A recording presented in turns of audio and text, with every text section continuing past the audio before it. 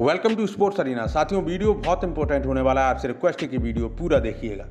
Guys पिछले video में हमने आपको बताया था कि आईपीएल 2021 अब नहीं खेला जाएगा, यानी रद्द हो चुका है।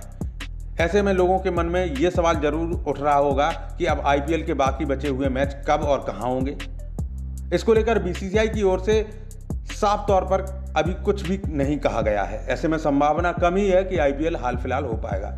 आईपीएल 14 सस्पेंड हो गया है और इसके जल्द फिर से शुरू होने की संभावना नहीं है।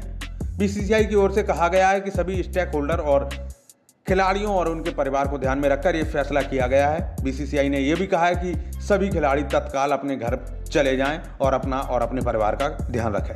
इससे साफ़ है कि बीसीसीआई अब बचे हुए आईपीएल के मैच कराने में कोई जल्दबाजी नहीं करना चाहता।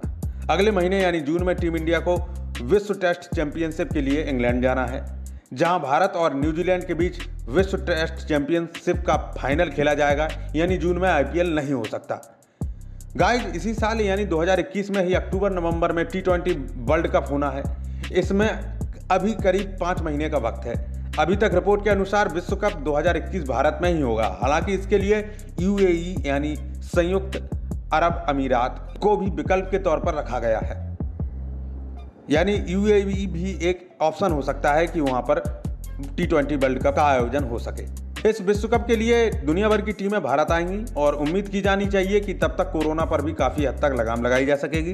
हो सकता है कि विश्व कप से ठीक पहले बचे हुए मैच करा लिए जाएँ।